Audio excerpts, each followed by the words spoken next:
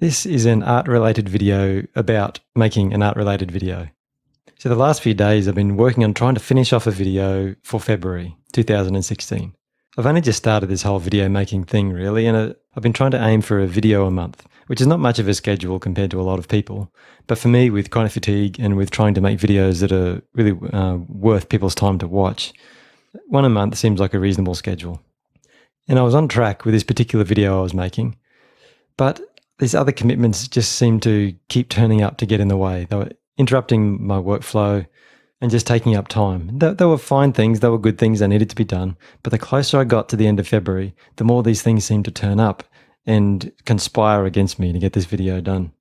I got desperate enough, and this may be a little bit sad, but I actually thought, well, what if this is a leap year? Maybe I can get an extra day in February, and that can be how I can sneak that video in.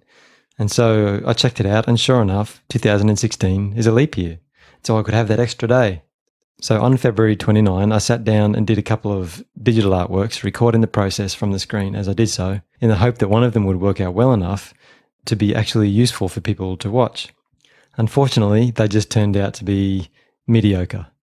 They weren't terrible, but they just weren't the standard that I wanted to upload.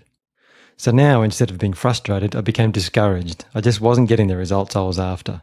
But I started to wonder why am I so easily discouraged? I mean, these artworks, they were really just a first attempt. And there's no way a person should get discouraged after just one attempt.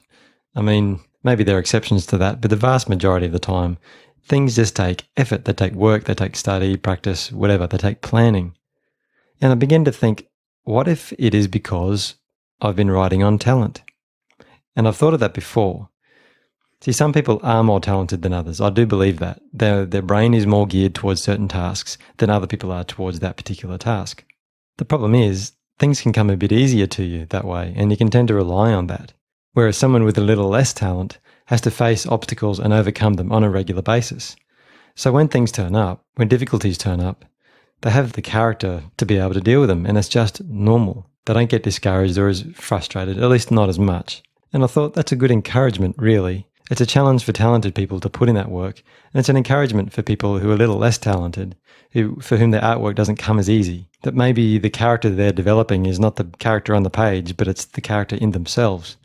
And I think that's a whole lot more valuable. And with these thoughts ticking over in my mind, I thought, well, other people must experience these things and have these thoughts, so maybe I'll just make a video about that and just draw some nice simple picture and talk about these things in the hope that maybe it might be useful for somebody else. And at least it's a record for me. And as a fun little side note, I've been reading a book uh, called Morning and Evening by a guy called Charles Spurgeon who lived a couple of hundred years ago. In that book, he just takes a verse from the Bible for each morning and each evening of the year and gives some thoughts on them. And the verse from the morning of February 29 just seemed to be an appropriate one for artists. Yes, you have to take the verse out of context and twist it to your own ends, but I guess people do that with the Bible all the time. So maybe we can get away with it this time. Anyway, I thought it'd be a nice little positive touch to finish off this video I also realised that I live in Australia, and the next day there will be a few hours in some other countries where it would still be February. So, yes, that is pretty sad, that is pretty desperate. But as my thoughts finally came together for this video, I thought I'll give it a shot. One more chance, and here it is.